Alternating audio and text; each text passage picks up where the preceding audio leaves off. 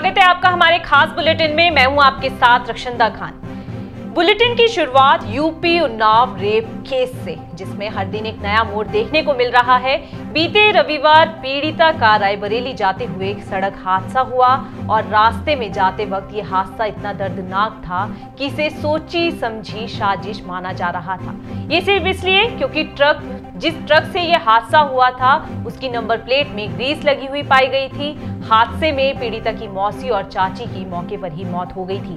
जबकि पीड़िता और उनके वकील लाइफ सपोर्टिंग सिस्टम पर है। हादसे की जाँच योगी सरकार ने सीबीआई को सौंप दी है पर हम आपको सुनाते हैं कि इस मामले में पीड़िता की बहन का क्या कहना है। लोगों ने मिलकर करवाया। करवाया है। जी सर। इसकी मांग करती जी सर। जाँच कराई जाए जाँच कराई जाए मुझे जाँच कराई जाए दोषियों को सजा है हत्या करने की साजिश की साजिश नहीं की हत्या की की प्रशासन तो हमेशा बिकी थी चटनी थी। नेताओं के हालाँकि प्रशासन तो ठीक है लेकिन यहाँ के सारे चाटने वाले थे हड्डी फेंकता है तुरंत कुत्तों की तरह दौड़े चले जाते हैं। और यहाँ जो सजा दी है इन्होंने ये मिल के आए थे पहले कुलदीप चाची गवाह थी क्योंकि सारी बात पीड़िता ने चाची को बताई थी। दिल्ली में जाके वो गवाह थी इस बात की। अभी पीड़िता पैसे मांग रहे हैं कि पैसे लाओ।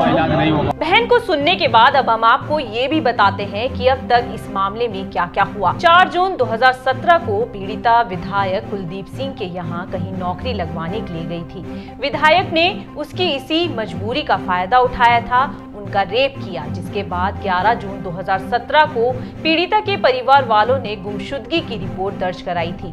22 जून 2017 को पीड़िता औरैया के गाँव में मिली उसके बाद उसकी कोर्ट में पेशी हुई और जहाँ बयानों को दर्ज किया गया। उसके बाद पीड़िता 3 जुलाई 2017 को अपनी एफआईआर में विधायक कुलदीप और उनके छोटे भाई का नाम भी शामिल करती है। 4 अप्रैल 2018 को पीड़िता के पिता को आर्म्स एक्ट के ज़रिए गिरफ़्तार कर लिया जाता है। गिरफ्तारी के महज पाँच दिन के अंदर उनकी पुलिस हिरासत में ही मौत हो जाती है। पिता की मौत के बाद यूपी सरकार ने ये केस सीबीआई को सौंप दिया था और 13 अप्रैल 2018 में विधायक को गिरफ़्तार कर लिया गया था और 11 जुलाई 2018 को सीबीआई ने चार्जशीट दायर की और विधायक को अभियुक्त माना। महज एक साल बाद 28 जुलाई 2019 को पीड़िता सड़क हादसे का शिकार हो जाती है। झारखंड से दिल दहलाने वाला मामला सामने आया है, जहाँ पहले तो तीन साल की बच्ची को अगवा किया जाता है, फिर उसके साथ दुष्कर्म। यही नहीं, दुष्कर्म के बाद उसे तड़पता मरने नहीं छोड़ा जाता। उसे हैवानों द्वारा सर काट कर मौत के घाट उतारा गया है। देखिए रिपोर्ट। घटना 26 जुलाई की है, जहाँ टाटा नगर रेलवे स्टेशन के प्लेटफॉर्म से तीन साल की बच्ची को अगवा किया गया और अगवा करने के बाद मासूम के दोनों हैवानों ने हैवानियत को अंजाम दिया। उसके बाद बच्ची को मौत के आगोश में सुलाने के लिए दरिंदों ने उसका गला काट दिया।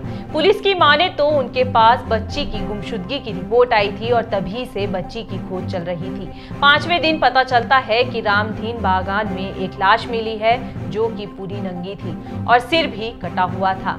अभी तक इस मामले में पुलिस ने तीन लोगों को गिरफ़्तार कर लिया है और मामले की तफ्तीश कर रही है। हाँ तकलीफ़ तो होती है।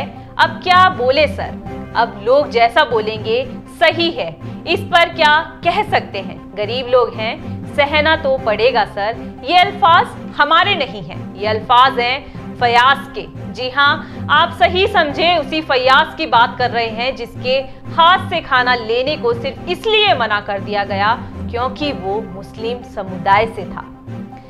आज हमने दिल में इतनी नफरत पाल ली है कि भूख को भी हम धर्म की भेंट चढ़ा रहे हैं। देखिए रिपोर्ट, आपको बताते चले, ये एक सोशल मीडिया पर चल रहा वॉर है। ये वो वॉर वो नहीं जिसमें कोई ट्रोल हो रहा हो, ये तो वो वॉर है जो 21वीं सदी में जीने के बाद भी ये एहसास दिलाता है कि हम धर्म की लकीरों पर ही अटके हुए हैं। हाँ एक अमित शिल्प नाम का शख्स है जो जोमेटो से खाना ऑर्डर करता है और फिर कैंसिल भी सिर्फ़ इसलिए करता है क्योंकि वो खाना कोई अन्य धर्म का शख्स ला रहा था। अमीन अपनी सफ़ाई में ये भी कहता है कि सावन का महीना चल रहा है, इसलिए हमने ऑर्डर कैंसिल किया। वो अपने मैसेज का भी स्क्रीनशॉट शेयर करता है। इसके जवाब में जोमेटो द्वारा जवाब दिया जाता है कि जवाब में जोमेटो लिखता है, खाने का कोई धर्म नहीं होता। भोजन तो अपने आप में एक धर्म है। तो वहीं दीपेंद्र गोयल भी लिखते हैं कि हम भारत की मूल भावना पर गर्व करते हैं। अपने ग्राहक और पार्टनर्स की विविधता पर गर्व है हमें।